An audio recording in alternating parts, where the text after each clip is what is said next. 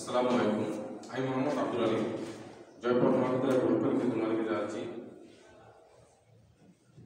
না আজকে আমরা আলোচনা করব অন্ত অধ্বনি উচ্চারণের নিয়ম। যেহেতু ইতিপূর্বে আমরা আলোচনা করেছি আত্ম অধ্বনি উচ্চারণের নিয়ম, অর্থাৎ শব্দের শেষে যদি অন্ত অ হয়, সে অধ্বনিটি উচ্চারণ কেমন হবে?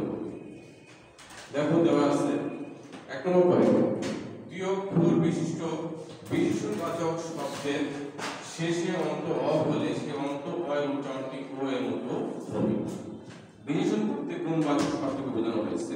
যেসব শব্দের দ্বারা দোষ গুণ ইত্যাদি বোঝায় তাকে বলা বিশেষণবাচক শব্দ। তাহলে যেমন দুই অক্ষর বিশিষ্ট দুই বলতে দুইটি অক্ষর থাকবে। যেমন কালো কালো, কাকে? কা লো কালো। দেখো, শেষ উচ্চারণটা হচ্ছে ও, উকারের মতো হচ্ছে। কালো অ এর মতো হবে। ঠিক হচ্ছে বড়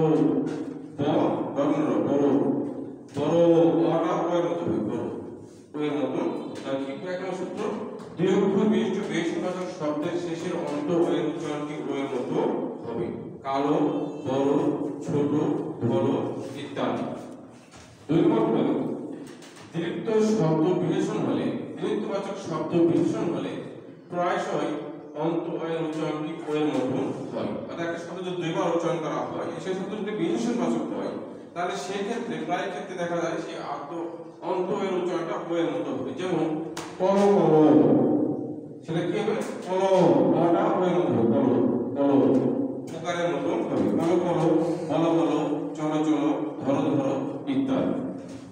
ঠিক তিন নম্বর পয়েন্টে সে বলছে পরবর্তীতে এগারো থেকে আঠারো পর্যন্ত সংখ্যাবাচক শব্দ যদি হয়, তাহলে সেই শব্দের শেষের অন্ত অয়ের উচ্চারণটা হবে ওয়ের মতো। আবার বলছি, এগারো থেকে আঠারো পর্যন্ত সংখ্যাবাচক শব্দের শেষের অন্ত এর উচ্চারণটি হবে ও এর মতো। যেমন আমরা লিখছি, এগারো এগারো অটা ওয়ের মতো হয় ওয়ের মতো বারো ওয়ের মতো তেরো, চোদ্দ ইত্যাদি।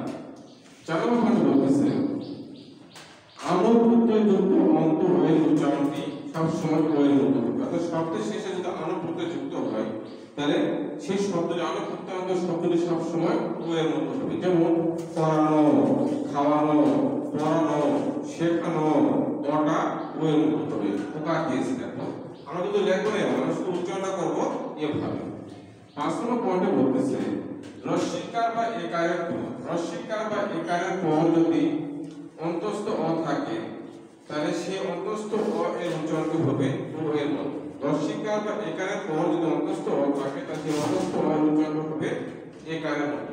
যেমন দেখো পিও, পি রস্বই দিয়েছি এখানে। পিওটা যে দেখো অন্তস্থ আছে অন্তস্থ উচ্চারণে কিছু হয়েছে ও এর মতো হয়েছে। ঠিক সে সে তারপর সঙ্গে সে কে আসছে দেখো। সে সের পর অন্তস্থ অ থাকে এর পর তার কি হবে? ওকারের মতো সে অন্তস্থ উচ্চারণ হবে ওকারের মতো। প্রিয়, শ্রেয় ইত্যাদি ছয় নম্বরে বলতেছে বিশেষের সাথে হ বিশেষ বলতে যে শব্দের কোনো কিছু নাম বোঝায় সহজ কথায় বিশেষের সাথে হ এবং বিশেষণের সাথে যদি ঢাসুর র থাকে, তাহলে সেই শব্দের অন্ত অ এর উচ্চারণটি হবে এর মতো। যেমন লিখেছি আমরা, দেহ দয়াকে দেহ দেহ উকার দিয়েছি উকার দিয়েছি। দেহ বলতে আমরা বুঝতেছি শরীরকে বোঝানো হচ্ছে বিশেষ ঠিক গাঢ় গাঢ় হলো একটা গুণ বোঝাচ্ছে, অর্থাৎ সে গভীরতা বোঝাচ্ছে ঘনত্ব বোঝাচ্ছে।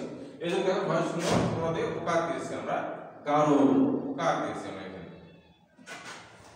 সর্বশেষ পয়েন্ট বলতেছি আমরা, সাত নম্বর শব্দান্তে অর্থাৎ শব্দের শেষে যদি যুক্তপূর্ণ হয় শব্দান্তে যুক্তপূর্ণ হলে পারে তাহলে সেই ক্ষেত্রে অন্ত, এর উচ্চারণটি হবে? উ এর রক্ত রক্ত দুইটি বর্ণ আছে যুক্তবর্ণ অর্থাৎ শব- শব্দের শেষে যদি যুক্তবর্ণ হয় তাহলে সেই ক্ষেত্রে অন্ত অয়ের উচ্চারণটি হবে উ এর মতো। যেমন সহায়কার টু দিচ্ছেন রক্ত কর্ম ধর্ম ইত্যাদি। তাহলে আমরা আপাতত আমরা এই ষাটটি পয়েন্ট শিখব। বই আমাদের আরও অনেকগুলো দেওয়া আছে আমরা মোটামুটি ষাটটি পয়েন্ট শিখব। পরীক্ষার ক্ষেত্রে আমাদের লিখতে হবে শুধুমাত্র পাঁচটি। তোমরা একটু ভালো করে দেখে নেবা। ভাষায় নিয়মিত একটু পড়বে, তাহলে তোমাদের ভাষা সুন্দর হবে সাবলীল হবে এবং নতুনভাবে তোমাদের বাচন ভঙ্গিগুলো প্রকাশ করতে সক্ষম হবে। আশা করি তোমরা সকলে বুঝতে পেরেছ। ধন্যবাদ সকলকে আজকে।